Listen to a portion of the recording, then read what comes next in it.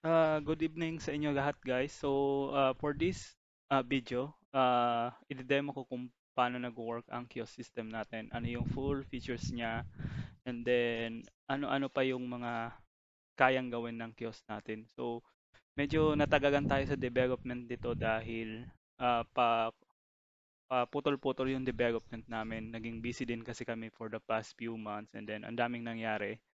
So, anyway, uh, let's start. So, bale, ang mangyayari is, i-discuss ko kung ano muna yung nandun sa mga picture na sinend ko. So, para doon sa mga hindi na gets yung ano, yung mga uh, picture na yon. So, okay, let's start. Um, so, una, makikita nyo, uh, dito sa diagram na to, nandito si Microtech, nandito si Internet, dito si uh, Android devices. So, ngayon, si Microtech actually hindi naman talaga siya required kung wala kang voucher station. So, hindi talaga siya necessary na may, may Microtech. Pero mas magandang meron dahil mas madaling mag-configure ng mga devices kapag Microtech yung gamit. Uh, instead na ang gagamitin mo is yung normal router lang. Pero pwede naman normal router kung wala kang voucher station talaga. Then, next, syempre, kailangan ng internet. So, sa, as of the moment, wala pa kaming support sa offline e-loading. So, or sa offline ano cash in cash out. Wala pa tayong support doon. So bale uh, for the first version ng kiosk natin ano muna ang support natin? Uh, with online features muna. Then iyon sa Android devices naman natin kayo bahala pumili. So bale pwedeng Android car supported siya uh, tablet pwede ring uh, phone so pero mas maganda yung tablet recommended kasi 7 inch yung uh, development size namin ito na minimum. Pero mas malaki dyan, pwede, pwede rin naman. Pero yung sa ano naman sa phone, pwede naman siya pero medyo maliit talaga yung UI. Hindi siya convenient sa user. Pero pwede na rin. Pwede na rin siyang pagtiyagaan kung wala talagang budget. Kung maliit or kung may mga lumang phones kayo na gusto niyo lang i-reuse for for this purpose, pwede siya. So, iyon, pwede namin pakita yung mga sample device na gamit namin for development. Uh, sige, pakita mo dito. So, yan. Bagay, yan. Uh, yan yung phone na 6-inch Huawei. So, yan, medyo masikip lang siya. Makikita nyo. Hindi siya ganun kagaki. So, nagsisiksikan talaga. Pero, yun, pwede na rin pagtsagaan siguro. Kung ano. Yan. Yan. Then, ito naman sa next, ito yung, ano natin, 7-inch na model. Which is, ito is, nabili ko lang sa Shopee. Mura lang siya. Nasa 1.6 lang. Yan. Or, basta naka-promo kasi yung nabili ko eh. Pero, almost 2K yung price niya. So, ito is, Cherry Mobile siya. Cheap, ano lang siya. Pero Android 8 na siya and then medyo responsive na din kung makikita nyo. Medyo okay na din. So, yan. Uh, next, uh, meron din tayong isang supported pa which is the uh, Android car. So, yan. Android car siya na 7-inch. Medyo ano na din siya. Maganda na rin siya. And then, medyo cheap din yung price niya compared doon sa mga high-end na tab yun nga lang, ang ano lang niya, downside, medyo malaki, pero may mga maliliit na version nito. Medyo malaki siya. Pero, kung ito kasi is doon yun sa, sa lumang ano ko tayo, sa sasakyan. So, pinagatan ko ng Android. So, ito yung luma niyang unit. Pero nagamit ko pa siya for development. Pero maganda siya dahil meron siyang USB. Ganito. So, kapag may USB kasi, uh, pwedeng direkta na dito kaysa network yung gagamitin na ano, na connection. So, yun. Yan yung tatlong uh, development device. Pero, uh, not limited dyan. Basta, ang version natin na gagawin or uh, bibilhin is dapat 5.0 yung version ng Android. So, yun yung need na i na requirement sa Android natin na device. So yun. Uh, next is paano nagko-connect yung Android device natin dito sa mga coin slot, sa mga kung ano-ano pang mga device na needed sa IoT. So ayun, of course, kailangan natin ng gateway device. So itong gateway device natin is similar sa OnePi. Siya yung bridge doon sa mga coin slot, uh, mga relays, and etc. etc. So same with uh, OnePi system natin. Uh, supported niya yung ESP wireless, pati yung LAN ng ESP8622 supported niya rin actually. Then ESP32 pati yung LAN both LAN and wireless supported niya. Then pwede rin yung connection mode niya is uh, USB. And then ito under development pa pero uh, ito isusupport din natin magiging Bluetooth yung connection niya kasi may Bluetooth yung ano yung Android phone sa tablet. So pwede natin yun i-leverage para ma-support ito. Yan. And then uh, yung mga existing custom board nyo na ginagamit sa OnePipe, pwede yun. Actually, baseboard pwede din. Kayo na bahala. Pero mas magandang naka-custom board dahil iwas doon sa mga masakit na issues like cost credit yung mga ganon. So, mas magandang naka-custom board pa rin. Yan. So, sa mga custom board builder dyan, uh, huwag kayong magagala. Yung mga boards nyo is compatible pa rin. O, lalo na yung mga default 1.5 boards. Kung hindi naman, hindi, hindi siya pang 1.5, pwede rin. Basta, i-configure siya sa admin kung ano yung mga pins ng custom board na ginawa nyo. Pwede rin yun. Yan. Then, next is meron tayong configuration ng gateway. So, kayo kasi bahala talaga kung paano nyo i-configure yung mga gateway. Either uh, marami kang gateway o isang gateway lang. Pagsisiksikin mo lahat. Pero ito, sample lang to. So, si gateway 1, yung coin slot saka mga thermal printer yung hand, handling niya. So, pwedeng si charging, kung may extra port pa to, pwede siyang dito sa gateway 1. So, not necessarily na separate gateway na yung para sa charging. Nasa sa inyo pa rin yan. So, si gateway to dito, uh, ang purpose is sa hopper. So, kung may extra pin naman to, pwede rin. Pero, mas magandang i-separate na lang yung hopper para, ano, para segregation din ng purpose. Pero, kung low budget, pwede rin. Pwede nyo ihagaw. Nasa inyo yung combo. Yan. Then, uh, ito yung itsura ng gateway management. So, papakita ko siya sa adan. Then, pupunta tayo sa manage gateways. So sa manage gateway, meron tayong list ng mga gateways. So ito na yung sinasabi ko na pwede kayong mag-add dito or mag-edit. Yan, so mag-add kayo. So sa pag-add, gateway name, uh, kung ano yung connection mode na sinasabi ko. So bagay, pwede siyang wireless LAN. So sa network mode siya. Then USB mode ito. Magko-confirm ka kung uh, i-allow mo yun. So, one time lang to mangyayari actually. So, once na ma-allow mo na yung USB connection na yun, uh, recorded na yun ng system, automatic na yun. So, yan. Then, yung IP address. So, ito yung IP address ng gateway nyo. So, mamaya, papakita ko rin kung paano mag-set up ng gateway. Kung paano mag-set up ng bagong gateway. Paano mag-flash. So, very similar lang din siya sa OnePi kung familiar na kayo doon wala nang wala nang problema sa setup. Madadagaan na kayo. Then ito yung yan remarks. Then uh, since wala akong ano additional ngayon na gateway for uh, setup, edit na lang natin tong existing. So itong existing uh, by default magge-generate yung bagong installed na Android app magkakaroon ng dalawang gateway. So naka-disable yan by default. So i-edit nyo na lang yan kumbaga. Uh, yan, so sab- sabihin na natin inedit niyo si default gateway. So i-edit niyo to ng IP address na naka-assign doon sa gateway na yon. So parang same siya sa 1.5.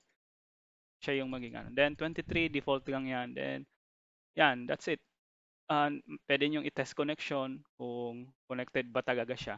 So magiging ganito yan. Then meron tayong different tab. So itong mga tab na to magiging available lang siya once na connected na yung gateway. So green na to. Meaning connection successful na siya. So need yung need talagang set up na yung gateway bago bago siya ma-add ng tama dito. So dapat connected na sa network kumbaga. Then yan sa system configuration same sa 1.5 may mga ganito tayo like ano yung uh, IP address settings niya, which is kung DHCP or static. Yan, pwede. Supported din siya. Then, nandito din kung ano yung coin slot type dito sa gateway na to. Whether universal siya or uh, single coin. Then, yun, pwede siyang ganun. Yan, yung multiplier. Then, yun, pin setting. So, same na same lang sa ano, sa 1Pi. Tapos, pwede yung in-none dito kung hindi talaga ginagamit siya. For example, coin hopper gateway lang talaga ang purpose niya. Pwedeng none lang yung mga stops dito. Okay? Then, what else? Dito sa trigger ports naman tayo. So, si trigger ports, ang concept niya is siya yung parang mga output pin na magto-turn on ng relay. Parang ganun yung concept niya. So, pwede siyang low or high. Yan. Then, anong pin yung naka-configure doon sa ano, doon sa custom board yung gamit. So, nasa inyo yan. Then, pwede kayong mag-add ng madami dyan. Madaming trigger ports. Pwedeng pwede. As long as na bakante yung pin, pwede siya sa I.O. Mga digital pins, especially. Pwede yan. Then, dito naman sa firmware, yun, makikita nyo kung ano yung naka-install na firmware version ngayon dito sa ano, gateway nyo. So, dito, naka 1.0, naka-network yung wireless, uh, yung connection mode niya, then hardware type ito. Then, pwede rin nyo rin ma-reset settings dito. So, pag ni-reset settings nyo yan, ang mangyayari, magkakaroon, mag-i-ini siya guys ulit yung setup ng gateway. So mamaya papakita ko yan kung ano yung ano. Para siyang one pi setup, parang ganun. Then restart hardware, i-restart nyo yung ano, yung gateway nyo. Okay? Then yun, so may dalawang gateway tayong naka-active ngayon, si default gateway and si coin hopper gateway. So bagay, pakita ko lang uh, yan, so, oops. Paano ba i-zoom to? Medyo mahirap mag-zoom ah. Yan. Alright, so yan. Yan si, ano, ito yung default gateway natin, which is, nandito yung coin slot saka bill acceptor. Coin hopper gateway naman natin is nandito. So, yan. Yan yung uh, nandyan yung ano, nandito sa ilalim yung uh, node MCU niya. sa ilalim. Yan. Nandiyan naka-configure yan. So, dalawang gateway yung gamit natin for this demo. Okay? So, yan. So, may dalawang coin hopper gateway din na available for it.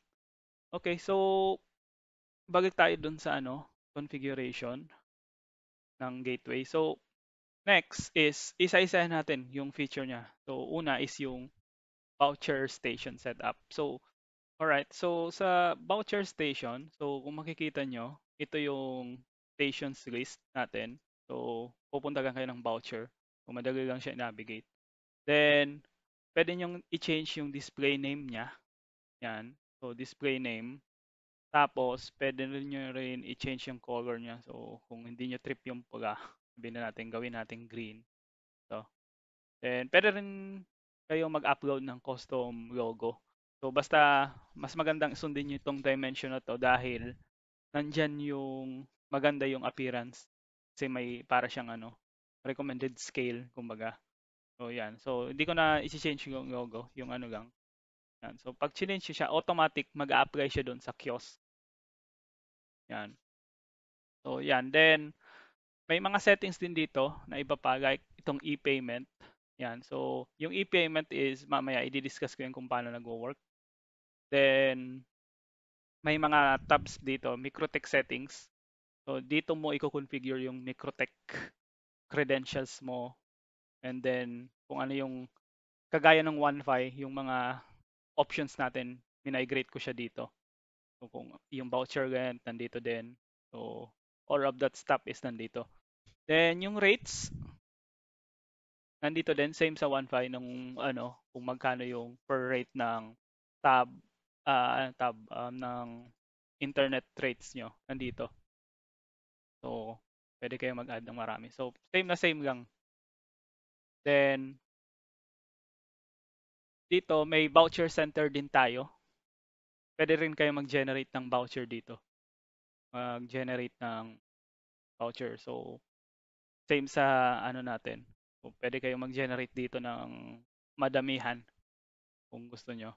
And dito yung transaction logs. So, dito natin makikita yung mga generated voucher, yung mga binigang voucher. Yeah, so more likely mga transactions to. Then aside from that, um, yan, pwede, rin, pwede rin makabili din ng voucher yung ano nyo, yung mga customer nyo with existing setup na yung piso wifi machine yung gamit nila. Ah, piso sorry. Yung cellphone pala. So, yung cellphone. So, asan yung test device natin? Ito. So, pwedeng mag-insert coin sila. So, two ways. Una, pwedeng via ano dito sa phone nila mag i-insert coin sila. So same same concept doon sa dati natin. So instead na ituturo niyo sa Node MCU yung uh, bendo, 'di ba? Dati pumipili kayo ng Node MCU. Yan ako lang. Cancel session ko muna. Yan. So yan. So, ngayon, may kiosk machine akong dinagdag lang dito. Pero pwede rin siyang bilan, pwede rin uh, yung traditional na setup natin. Nasa inyo na yung ano nun. Kasi IP lang naman idadagdag nyo. IP siya ng kiosk instead ng IP ng Node MCU directly. So, pwedeng may promo rates din yan. Makikita nyo, nyo yung mga naka-configure dito na rates. Then, yun, pwede, pwede silang mag-insert coin. Yan. So, pag nag-insert coin sila, So, makikita nyo, automatic din yan dyan mag-a-appear. Yan. So, yan. So, yan yung, parang mag-act siya as LCD. So, try natin maghulog. Ah, piso. Okay, yan, 1 peso. Yan, then done. Okay.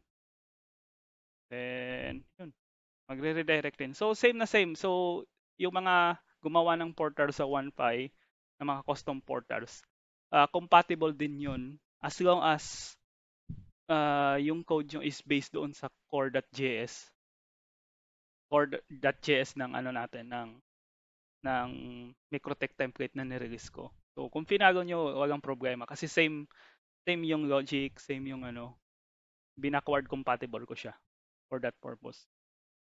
Okay? And then, yan, yan yung about sa voucher station via piso wifi. So, pwede rin silang pumili ng voucher station gamit dito. So, yan. Pipili sila kung yung piso or yung custom amount. So, custom amount is yung kung ilan yung in-insert nila. So, try natin. Yan, hulog ako. Okay, 10 piso yon So, yan, 3 hours. And then, yan, kukunin nila tong voucher code. Either i-screenshot na lang nila or tatandaan nila. So, pwede rin ito paganahin itong uh, thermal printer. Kung naka-set kasi ito sa, sa system natin, pwede to. Pwede siyang ano, mamaya papakita ko kung paano to si-set up. Yan, then done. Yan. So yun, yun yung about sa voucher station natin. Um, medyo dami-dami pang features tayo i-discuss. So, yan, putulin ko na about yung discussion sa voucher station. So, sunod is yung e-load station naman. So, yung e-load station is dito nyo siya is-set up sa wallet center, sorry. Uh, gugawa na ako kasi dalawang kiosk yung naka-open ngayon. So, ito yung ano, itsura ng voucher ah, ng wallet center natin. So, yun, same din, pwede mong i-edit yung yung mga labels and colors and icons ah, sa inyo din. Then dito sa digital wallet settings, so dito loading. Yan. So dito naka-set up yung e-wallet account nyo saka e-load account. So yung e-load account nyo na ginagamit sa OnePi, pwede yun dito. So hindi nyo na kailangan mag-register ulit. Pwede yung gamitin na lang yung existing nyo. Then yung e-wallet is another ano siya, account. So ire-register nyo siya din sa amin. So magkakaroon kami ng page for e-wallet account naman. So may registration fee din. I- i-announce na lang namin kung ano yung mga details na kailangan and magkano yung minimum amount, magkano yung uh, mga charges. So yun, i-discuss namin yan dyan. And so far, it, uh, ito yun, sample pa lang to. So ito yung account ko is may 1,000. Then, meron din tong unsettled amount. So mamaya i-discuss ko din yan kung para saan yan. Then yung e-payment settings naman is siya yung pag-enable mo kung mag-accept ka ba ng GCash payment saka Maya payment sa machine mo. So for example, yung customer mo gustong bumili ng ng voucher pero wala siyang coin, GCash yung gagamitin yung pambayad, pwede yun. Gamit dito sa e-payment settings na tinatawag. So basta naka-enable to, then basta may e-load, ah sorry, e-wallet account kayo, makakapag ano na kayo, makakapag e-payment na kayo. So bundle 'yon. Cash in at yung e-payment pag nag-register kayo, pareho pareho niyo makukuha 'yon. Pareho niyo magagamit yung feature na 'yon. Then dito sa cash in rates, so dito makikita niyo yung uh, vendor charges, kung magkano yung charges namin. Then magkano yung china-charge sa atin ng provider natin. So, dito makiki makikita yan. Then, ito, yung patong nyo kung magkano. Halimbawa, from 1 to, pag empty to, meaning kahit, ano siya, infinite amount siya. Piso yung charge mo. So, ganun yung meaning niya. Then, sa e-load products naman, so ito yung list ng complete e-load products natin. So, doon sa OnePi, ina-upload natin yung Excel. Ngayon, dito, hindi na kapag may bagong products, pwede nyong gawin is ito na lang, get, get latest product list. So, parang synchronize button na lang siya. Yan. So, isang pindot na lang. Tapos, may rates modifier din dito. Pwede mo i-modify by globe, then regular. Magkano yung charge. So, pwede siyang, ano, patch update na, kumbaga. Pwede yan. So, pwede nyo rin i-turn off dito kung alin yung promo na ayaw nyong i ano, kumaga isama sa machine nyo, pwede rin.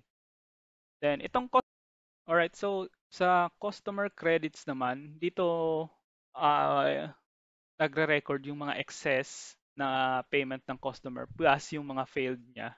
So papakita ko na lang mamaya to. Pero ang purpose kasi nito is makita nyo yung excess, then magagamit niya siya, magagamit niya yung credits na yon sa next reload niya. Parang ganun. So, mamaya, papakita ko na lang kung paano siya nag-work.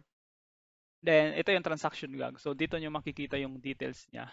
So, makikita nyo yung before balance, after balance. Then, yung details ng transactions nandito. So, yun, sample tayo ng e-load. Sample tayo ng ano, ng e-load. So, dito sa ano, meron tayong menu, e-load station. So, yung customer nyo magna-navigate lang dito. Then, meron tayong cash in. Mamaya na lang yung cash in. Dito muna tayo sa e-load. So, regular. Then, globe. Then, 5 piso lang. Then, type mo yung number. Okay. So, dito, naka-hide to dahil same dun sa ibang kiosk machine para sa privacy issue din. So, inaano natin siya. Then buy now. Then yes, proceed. Okay. Then yun. So ngayon, ang scenario natin, mag-insert tayo ng excess. So imbis na i-insert natin is 5, 10. So, dapat may sukli akong 5, di ba? So, ngayon, hulog ko. Okay, 10 yung na-detect. So, yun, maagaan na yan. Then, yun, pumasok na din yung e-load. So, may auto-load max 5 na na pumasok.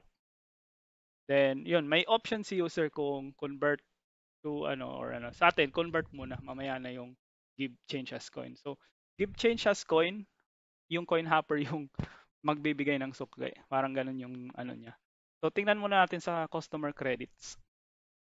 Yan. So, ngayon makikita nyo meron na tayong 5 na customer credits dito sa mobile number na to. Then next time, next time na mag-load siya, magagamit niya to. So, try natin na mag-load naman ng 10 piso.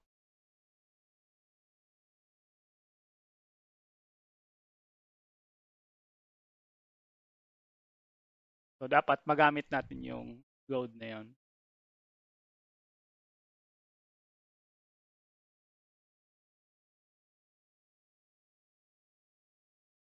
Okay.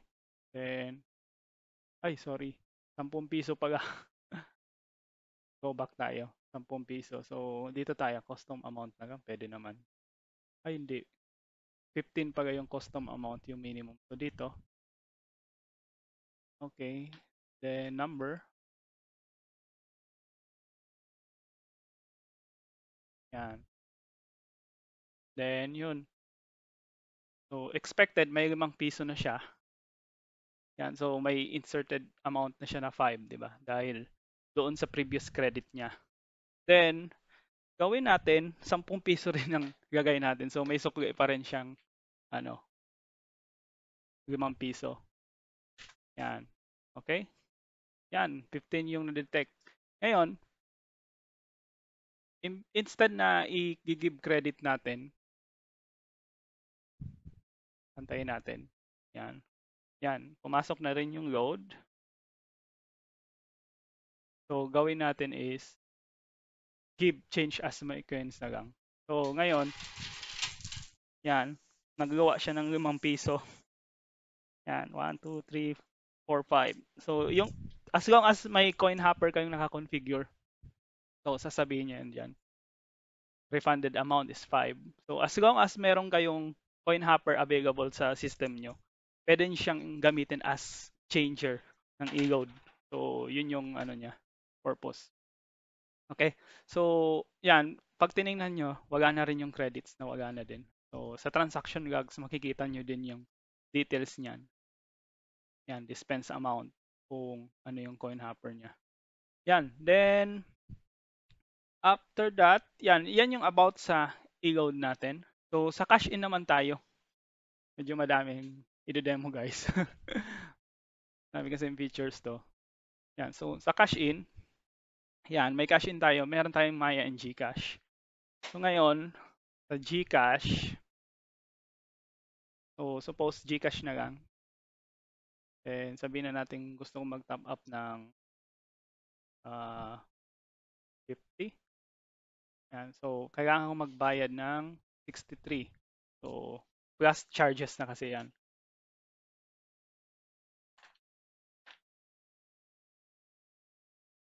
Yan. So, yan. Bayad tayo. So, saktong amount na lang gawin natin para wala na ng mga coin changer scenario. Same lang naman kasi yung mangyayari. Yan. Okay. Trading. Then, hulog tayo dito. 1,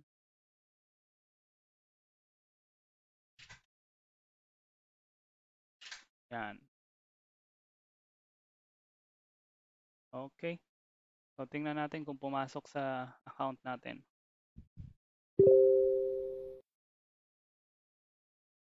Okay, tingnan natin kung ano, pumasok. Yun. So, yun. Meron na tayong pumasok na GCash 50. Okay. At the same time, kapag may e-load, ano pala kayo, kapag may e-load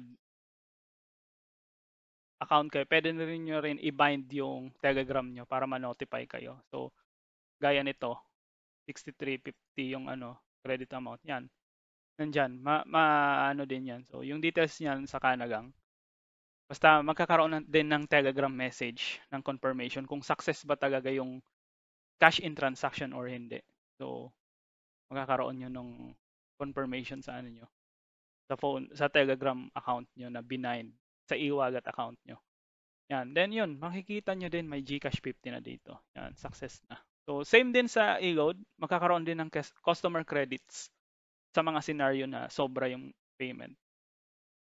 Okay, so yan, yan yung about sa e-load station natin. Medyo malaking ano siya, feature madami. So, kapag e-pins din, makikita nyo din dyan. Uh, nagsishow na yung e-pins. So, yan. So, next, uh, next tayo. So, sa e station natin, ito na yon May coin hopper, then yun. I think na-explain ko na lahat dito. Yung feature ng e station natin. Then next is, meron pa tayong coins exchange station. So, na natin kung naka-activate yon Naka-activate si coin exchange natin. So, si coin exchange naman, go back ulit tayo sa station. Ito, coin exchange. So, nandito rin siya. Same din. So, si e-payment, so kapag naka-enable to, meaning to say, uh, ano siya, nag-accept siya ng GCash as coin exchange. So, para siyang cash out yung magiging dating niya. Parang ganon. Yan. Then, bago nyo pag ma-configure tong ano, coin exchange, kailangan yung coin changer config uh, naka-configure na. Naka-configure na. Kumbaga, ano na siya setup na. So, dito muna tayo. So, ito yung mga setup sa coin changer config. Pwede nyo siyang gamitin as coin changer, yun nga yung sabi ko sa e-load, kapag may sobra siyang payment, pwede siyang coin changer. Pwede itong i-disable, meaning hindi na mag-ano, hindi na siya manunukli kahit naka-on to. Yan. Then, meron tayong coin hopper. Yan, coin hopper setting. So, yun yung diniscuss ko dati, si coin sa coin exchange natin, pwedeng magkaroon ng maraming coin hopper. So, so ang alam naman natin ang isang coin hopper, isang coin type lang dapat yung handle niya. So, ba, itong coin hopper 1, piso lang lahat. Then, coin hopper 2, 5 lang lahat. So, yan, pakita ko yung setup ng coin hoppers natin. So, ito medyo ano lang, prototype lang kasi yan. Pero, may dalawa tayong hopper. Ito is 5 pesos yung laman. Ito naman is 1 peso. So, yan, dalawa. Pero pwede pa kayong madami dyan. For example, may 20 pesos kayo na ano, na mga coin type naman. So, mas mas mas okay 'yon. Yan. Then, um, ito yung ano niya, settings niya. As of the moment kasi hindi naka-configure dito sa kiosk na to. Pero dito tayo sa kiosk na to. Itong itong ito kasi yung ano, nakatutok talaga sa kiosk na yan. So, yun, na-receive na yung payment. So, uh, coin hopper, ito yung listahan ng mga coin hopper natin. Then, pwede nyo i-manage siya. So, kailangan yung i-manual manual input kung ilan yung physical count sa una. So, automatic siyang magbabawas kapag ginagamit na yung coin. Pero yung initial count niya, kailangan yung sabihin kung ilan yung coins na available dito sa ano sa coin hopper nyo. So, dito sa 1 PHP. So, ngayon, binagay ko na yung 5 pesos kanina dito sa coin hopper. Pwede nating bilangin, uh, may mga utility din tayo dito na kaya nyong bilangin yung laman niyan. So, for example, ito, yung piso, binagay ko na yung 5 piso. So, dapat may 20 pesos na dyan.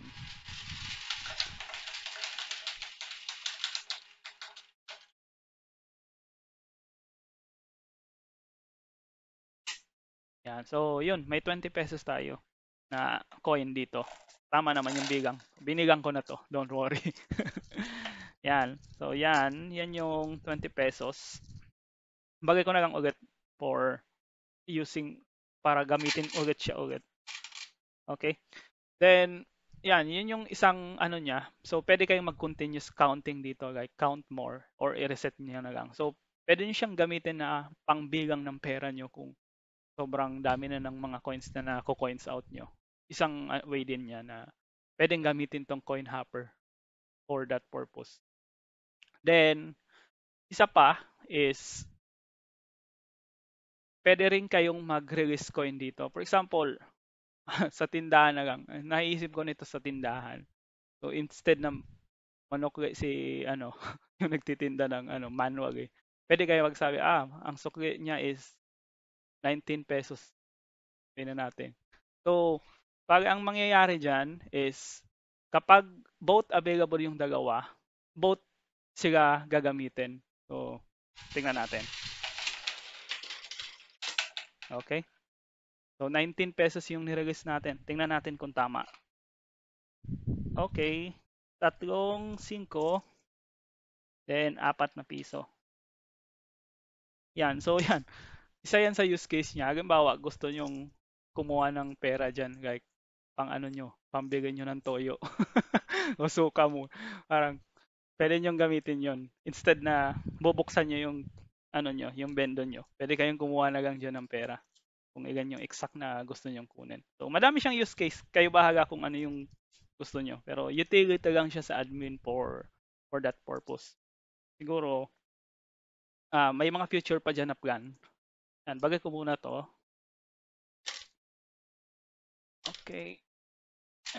Then next is yun, sa coin hopper gag, so makikita nyo yung mga nirelease na coin. Especially kung transaction siya. So, kanina, di ba, meron tayong tatlong piso, ay tatlong 5 na nirelease, then apat na piso. So, ito yon So, yan. May tracking siya ng balance yan. So, bagay, ano siya. Yan. Makikita nyo yung actual amount niyan. Basta tama yung, ano ah, tinago nyo siya sa una. Walang problema. Then, walang jam na nangyari. Yan. Okay. So, yan. Yan yung sa coin hopper natin. For the coin changer. Yun yung mga features niya. Then sa coin exchange, sa station, doon siya ginagamit majorly. So, yan, enable natin yung e-payment para matesting din natin. Yan.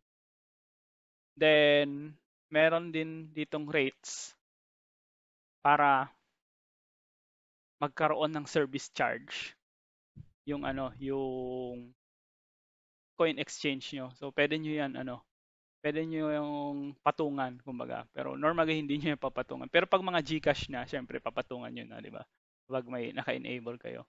Yan. So, wag na muna natin lagyan para madali. So, ano tayo? Coin exchange. Yan, so coin exchange, sasabihin nila magkano yung amount. So, para silang nagwi-withdraw, di ba? So, for example, uh, cash, di ba? So kapag nag-input sila dyan ng 5 million, syempre wala ka ng balance. 500 lang yung balance mo dun sa coin, ano mo eh, dito sa coin changer mo, di ba? So hindi dapat yon. Then yun, sabihin na natin gusto ko lang mag-exchange ng uh, 20 pesos using GCash. Yan. Okay. GCash tayo. Pag uh, nakakasawa yung coin eh. Yan, GCash. So So, e-payment yan. So, ngayon, magbabayad sila. Nasaan yung phone? Okay, yung phone. Yan, loading pa yung ano, screen. Yan, so bubuksan ko lang yung GCash ko. Then, babayaran ko yan. So, yun, may instruction dyan. Makikita nyo. Open mobile app. Pero medyo ma, ano kasi sa camera eh. Yan. Pero babayaran ko na siya. So, i-scan ko yung QR. Bagay, ang mangyayari, i-scan ko lang siya ganito. Yan, scan. Then, babayaran ko na, pay 20. So, hindi nyo na kailangan mag-input ng amount. Automatic na yung amount. Yan, so yan, babayaran na. Yun, paid. Tingnan natin. Yan. Ayun, nag-release na din siya ng pera. So, dito, meron na din siyang nirelease 20 pesos. So, easy cash out.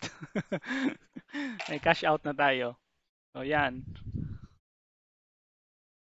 So, isa yan sa way para mabawasan yung coins nyo. Ma-exchange nyo sa uh, Gcash. So, na, ang mangyayari din, uh, yun sa iwagat telegram nyo, manonotify din kayo. May na-receive kayo na pera. Yan. Manonotify din kayo dyan. Yan. So yan. Yan, makikita nyo din, nagbabawas din dapat yung bagansi. Ito, ah, ito yung nagbawas dapat. Yan, nagbawas siya. Tapos, ano pa ba? Sa coin exchange, yun. Pwedeng cash din, magpapabarya sila. Pwede rin yun gamit. So, sila baga. Tapos, yan. Yun yung about sa coin station. So, coins exchange station. Pwede silang mag-configure ng madaming ng madaming ano, coin changer, uh, coin hopper. Kayo baga mag-build. So, kung mayaman kayo, mag-build kayo ng apat na coin hopper. Hmm. Okay? Then next is charging station. So, charging station is similar dun sa OnePi. Siyempre, may ano tayo. Dito tayo sa other service. So, sa other service, naka-off kasi yung charger nito eh. Ah, hindi. Sorry, hindi. Maganda naman ang kiosk yung pinuntahan ko. So, dito pala. Sa other service. So, charger. Yung naka-on. So, so naka-on yung charger natin. So, kaya nag-show siya, di ba? So, ngayon, dito sa ports natin, dito nyo makikita yung mga available ports na kinonfigure nyo. So, pwede kayong mag-add ng mas madaming port kung gusto nyo. As long as may pin na available, walang problema. Walang problema. So, yan. So, hindi na ako mag-add. Naka-configure na kasi yung ano ko, system. So, ito yung tinatawag na trigger port. So, kung ano yung kinonfigure nyo kanina doon sa gateway nyo, dito siya gagabas as option. So, sasabihin nyo kasi, sino yung i-activate na port sa, sa port na to doon sa gateway na yon. So, for example, si default gateway trigger port 0, i-activate niya. Dito naman sa port 2, i-activate niya si trigger port 1. Yan. So, yan, sample tayo. Yan. So, dito may pigaan kung custom amount o piso. O, piso na lang para madali.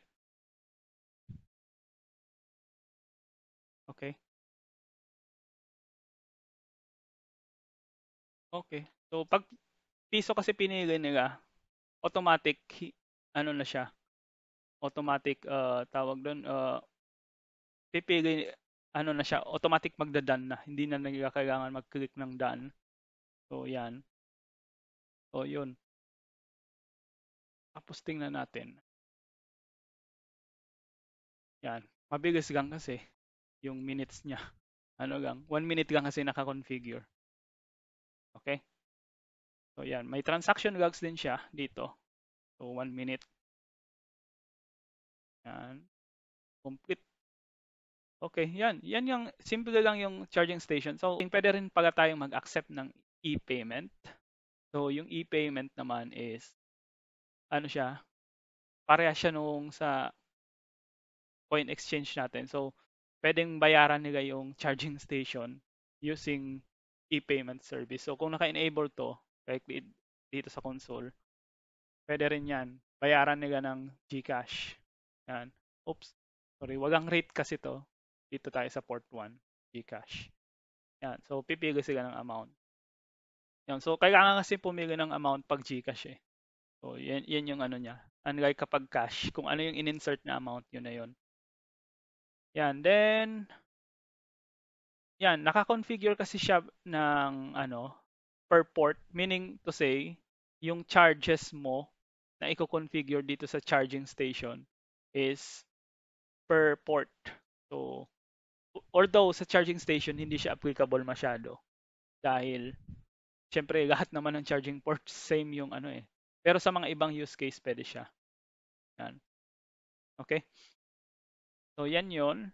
Yan yung about sa charging station natin. So, dapat naka-global to eh. So, pwede siyang naka-configure lang siya rate per port pero dapat global. Okay? Then, next is doon tayo sa custom station. So, yung custom station, gaya na sabi ko, pwede nyo kontrolin yung relay ng design nyo. Kung ano yung gusto nyong design ng uh, system nyo. So, most commonly ginagamit yan sa car wash. Pag on ng water pump, pag on ng washing machine, o sa tubig, mga ganon. So, sa PisoNet pwede rin. So, yun. pwede, pwede kayong mag-define ng custom station nyo. So, sa, supported siya ng kiosk natin. Like, pwede kayong mag-add ng bagong station dito. Sa other service, may add, ano dito, may add function dito. Yan. So, sa add function natin, meron tayong, yan, mga common kiosk settings natin kung enable o hindi. So, yan. So, pwede kayong mag-add dyan. So, ito yung mga predefined na service type. So, may mga predefined icons na din dyan na available. Kung yan yung pipiliin nyo, pwede rin yun. So, suppose, uh, meron tayong Tagay Station. So, actually yung Tagay Station, nandito sa isang kiosk ko. So, nandito sa baba. So, demo natin yung Tagay Station na ano natin. So, ito yung Tagay Station. so, meron tayong custom dito na Tagay Station. So, nag-upload tayo ng sarili nating icon plus ano, color. So, yan. Medyo, ano siya, girly. anyway. So, yung Tagay Station, pwede nyong, pwede, yan, pwede na yan i-click ng customer. Yung option na yan. Then, sa ports, doon nyo kinonfigure kung paano siya gagana. So, ngayon, may dalawa tayong option dito. So, meron tayong hindi pa na pundador. Meron tayong red horse. So, ano lang to guys, ah, sample, wag nyo tong gagawin. Ano lang to, for demo purpose lang. So, both trigger port 0 siya, pero dapat talaga ibang trigger port siya. Nagkataon lang, isa lang yung pump kasi ng ano ko, nitong Tagay station ko. Yan. So, pang ano lang to, pang libang-libang lang. So, medyo malabo eh. Kikita ba yung option? Medyo ano siya eh. Teka, zoom ko kung yan. Teka. Yan. So, yan. Meron tayong Red Horse, Pundador. So, dito applicable yung rates na sinasabi ko. Yung rates ng Red Horse, syempre, iba sa Pundador. So, yun na yung rates per port na configuration. Pwede nyo i-configure na different. So, kapag different yung configuration niya, pag in-avail nyo yan, yun, naka-enable din kasi yung e-payment dito. So, for example, cash na lang para hindi na tayo magbayad-bayad GCash. So ngayon, cash, ito, yon 15 pesos daw yung isang baso. Sige. Uh, hanap lang ako ng 5 peso. Yan, 5 pesos. So, yun, may 15 pesos ako dito. So, yung coin slot na gamit natin dito sa isang kiosk, hindi siya yung universal coin slot, yung ano lang, yung normal lang. Ito, yung alan lang na ano, 5 pesos yung ina-accept. O yung ano lang. Okay, so yun yung naka-configure dito. Yan, supported din yun ng kiosk natin. Yan. Yan, red horse. Sabihin na natin red horse. Okay. 5, 10, 15. Okay. All right.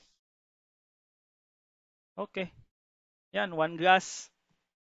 One glass of red horse. Kung nakikita nyo. One glass of red horse. Medyo malabo kasi sa camera. Pero yan. Yan yung nag-display. One glass of red horse. yan, inom na ako kasi medyo uhaw na din. hmm. Lasang plastic. anyway, okay. Go back tayo doon. So, ito yung configuration niya na sinasabi ko. Sa rates, naka-configure siya. Uh, red horse, tapos meron pundador. So, yan. May, may ano siya, may option siya doon kung ano yung uh, configuration. So, dito, nakikita nyo, milliseconds yung ano, 3,500. So, ngayon, time-based pa lang kasi yung supported ng ano natin eh, generic system natin eh. Pero in the future, magkakaroon to ng mga sensor support like water water ano, water flow based sensors. Siguro mga ano pa, o iba-iba pang sensors na ano, iso-support natin sa gateway. So, in development tayo doon. para hindi lang tayo mag-ano sa magdedepende sa time base kasi minsan hindi accurate yung time base eh. So minsan nagagoko siya. Hindi siya palaging sakto. Pero kung hindi naman masegan yung yung ibebenta yung service sa sa mga water volume na inaano, pwede na yung time base. Like yung car wash, pwede yun. So yung laundry. So kayo na bahala kung ano yung configuration na gusto nyo. So sa transaction logs, nandito din. Nandito din yung ano, yung record niya. Okay? Then after that, yan. So far yun, yun yung ano, feature ng kiosk station natin, uh, ng custom station. Magkakaroon pa yan ng mga upgrades dito kasi dito nagfo-focus din kami dito na i-support yung mas madaming use case. So gusto namin maging generic talaga yung kiosk para sa mga builder na gusto talaga mag-build ng ano, mga innovation nyo na mga bendo. So mga innovations na hindi pa lumalabas sa market, pwede nyong gawin yun. So, yung kiosk kasi natin is, yun, accept, nag-accept siya ng mga payment. Siya yung bahaga, bahaga magano. At the same time, siya yung magmamanage ng mga transactions, mga payment. So, yun yung purpose niya. Then, yung mga builder, kayo mo yung may control talaga kung ano, kung ano yung innovations na gusto nyong i-innovate sa kiosk. So, madami pa akong gustong idagdag dito sa kiosk, actually. So sa mga future release, madami pa. Abangan nyo, madami pa. Madami pa kami. So may dedicated developer na ako, yung asawa ko. So siya yung magde-develop, magko-continue mag-develop nito. Siya yung halos nag-develop ng system na to. So purely ano, uh, dedicated siya dito in the future. So yan. So so yun, ito yung e-payment na sinasabi ko. Yan, pwede kayong magbayad yan. So, na-discuss ko na to. Nag-sample na ako kanina. And then, yun, may mga Telegram notifications din. Then, yung dashboard. Like ito. Yan, dashboard. Dashboard yan. So, yan yung sales niya. Diba? So, ganda yung dashboard niya. Pwede nyo siyang makategorize by station. Then, yung graph niya. Daily sales niya. Or weekly. So, nandyan din kumpleto. Then, yung Telegram, nandyan din, application, ito siya. So, pwede kayong mag-configure ng sarili nyong bot dito. So, pwede nyong ilagay yung uh, created bot nyo, then yung chat ID. So, same sa OnePipe. Alam nyo na kung paano siya gawin. Pero mag-release pa rin kaming guide doon sa mga uh, hindi pa marunong maggawa. So, kung paano mag-create via bot father, mga ganun. And then ito yung mga alerts pang additional. So bukod kasi sa mga notification ng sales, yan, nagno-notify din yan kung kulang na yung balanse. For example, dito sa dashboard, saan ulit natin yung dashboard. So dito kasi may balance ka na, di ba? So suppose na lang wala nang balanse yan. So pwede yung sabihin, pag less than 500 na yung load ko, i-chat na ako ng kiosk na okay, ano na, less than ganito na yung amount ay yung balance mo. So, kailangan mo na mag-reload. Yun. Sasabihan ganyan. Then, pati yung mga failure events, like, naubusan yung, naubusan tong, ano, pera, yung coin hopper nyo. Isa din yun. Ma- pwede rin yun mag-notify pag naubusan siya ng pera. Kasi may mga instance na, halimbawa, naubusan to, hindi siya na-track properly. Or mali yung na-input. Parang ganun. So, automatic nire i-alert ka na ni ano nung bot na ginawa ko dito. Yan. Yan, yan. So far, yan sa notification. Sa printer settings naman, dito, dito natin makikita yung sabi ko. Kung gusto niyo gamitin yung Thermar printer. So, yung Thermar printer, kagaya ng sa OnePi, mag-generate siya ng voucher code yan. So, pwede nyo enable yan. Yan. Printer option. Yan. Sasabihin, pwede nyo sabihin only when on voucher station. So, yan. Save ko. Para ano lang. Yan. So, dito naman, kung sinong kung sinong gateway yung gagamitin nyo as coin slot or bid acceptor, kung sino yung gateway. So ngayon, 'di ba, naka ginamit natin si default gateway as the default gateway ano uh, CoinScat provider natin. Yan, then yun, may mga payment reminder dito.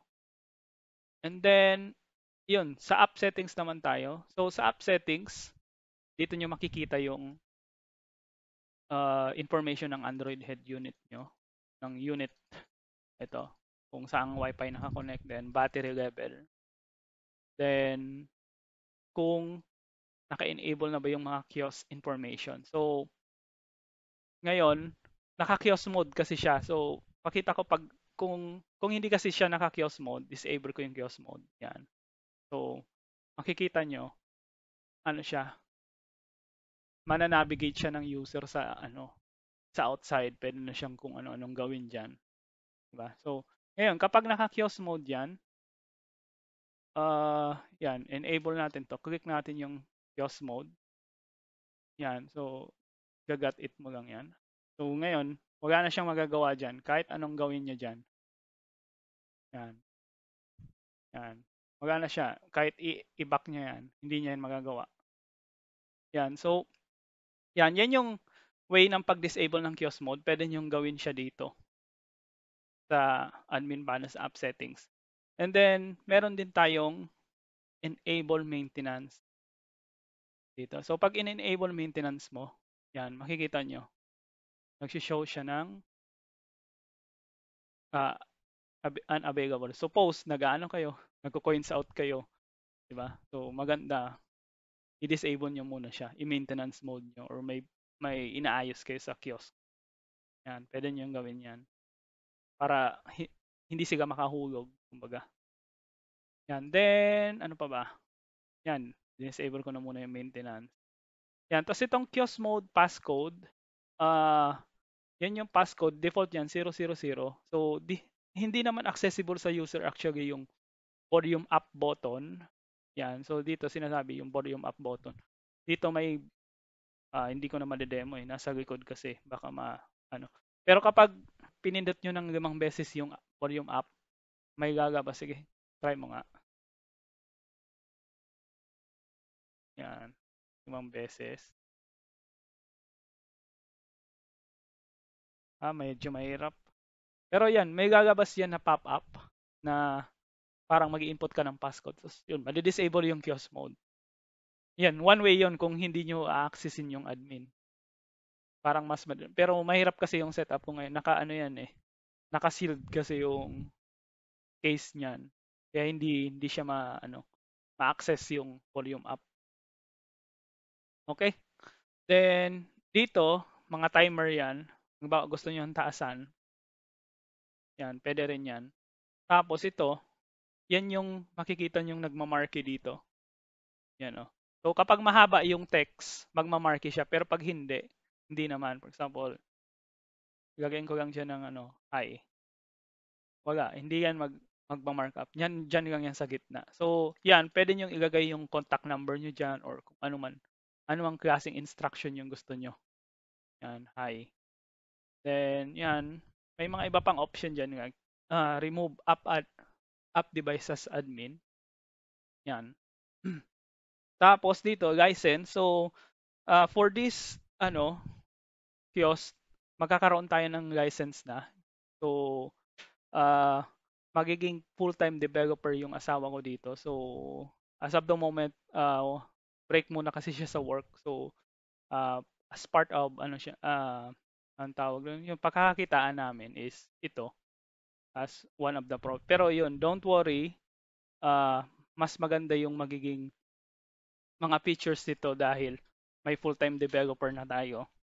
At the same time, uh, yun, developer talaga siya ng Android. So, bagay, magkakaroon ng mas madaming feature pa. So, expected na mas maganda yung product natin. So, syempre, mas maganda pag may license, mas bububus yung moral namin mag-develop, di ba? At the same time, uh, yung 1Pi development, hindi ko pa rin tigir yun. 1Pi is still 1Pi. Continuous yung development doon, continuous yung upgrades. At ang nangyari lang yan, nag-postpone kami dahil nga dito sa kiosk. Siyempre, kailangan namin mag-prioritize ng mga stops. And then, uh, si OnePi, nandun pa rin yung pledge namin. Uh, maging cheap cost yung piso Wi-Fi machine. Like, actually, yung trial version ng, hindi naman trial version, yung free version ng kiosk natin, actually, is, uh, nandito pa rin yung voucher station. So, kumbaga, built-in free yung voucher station natin. So, nandun pa rin tayo sa pledge na uh, cheap internet yung ipo-provide natin sa mga users natin. Di ba? So, nandun pa rin ako. Uh, ang free version natin is libre yung voucher station natin. So, makakapag-insert coin sila via Piso Wi-Fi. Then, makakapag-generate kayo ng voucher dito sa admin. Then, at the same time, may charger station din na kasama as free. So, nasa inyo na yon kung uh, yun lang gagamitin nyo. Pero mas maganda, mas, ano sige, mas maganda yung feature ng full version. Mas maganda yung capability. Then, syempre, mas mas maganda yung support na, na ano, na mabibigay namin. So, yun. Yan. So, yan. Uh, we'll keep up to date na lang sa mga ano, release. So, so far, ang target namin is this December. Ma-release na namin siya. So far, nasa ano na kami, final stage na talaga ng product. So may mga finifix na lang kaming issues, mga minors. Then, i-release na namin. So may mga question kayo, comment na lang kayo dito sa post ko na gagawin. Okay? Yun. Good day sa inyo lahat. Thank you sa panonood kahit sobrang tagal ng video.